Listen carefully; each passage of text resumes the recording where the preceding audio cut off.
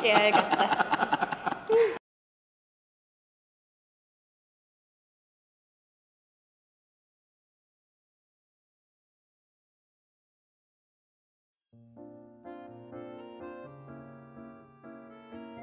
네, 안녕하세요. 저는 알려지지 않은 예술가의 눈물과 자유툰 파스타에서 나 역할을 맡은 권겸민이라고 합니다. 동일한 작품의 미자 역할을 맡은 김보나입니다.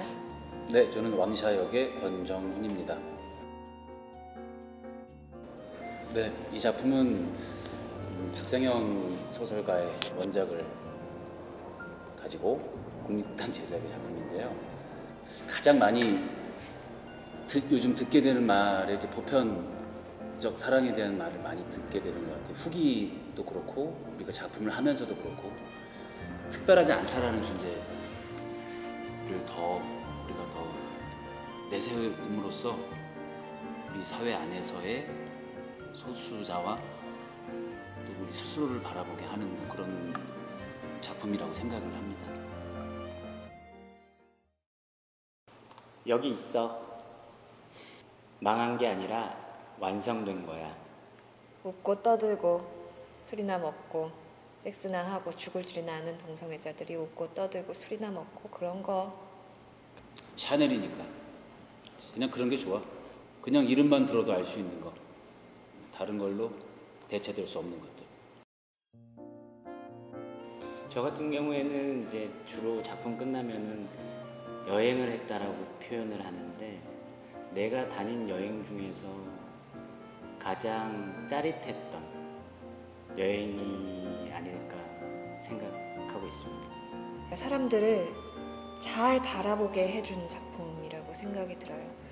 각자 가, 자신이 갖고 있는 보편성이 어떤 식으로든 대체 불가능하고 그것들이 가지고 있는 아름다움은 비교할 수 없는 것이다 라고 생각이 들어서 사람들을 잘 바라보게 해주는 것 같아요.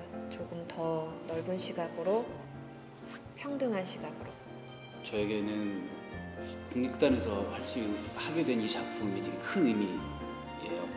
돌아가시게 된 돌아가신 분 소수자분들에 대한 생각을 갖고 있거든요. 그래서 대사에 그런 그런 생각들이 들어오는 것, 또 들어오지 않는 것, 동시에 감각하는 것 이런 것들이 저에게 되게 큰 경험으로 다가와 오는 것 같아요 이번 작품.